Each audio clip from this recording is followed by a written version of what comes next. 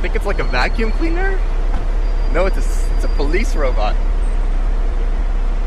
Is it? No, it's a parking enforcement. well,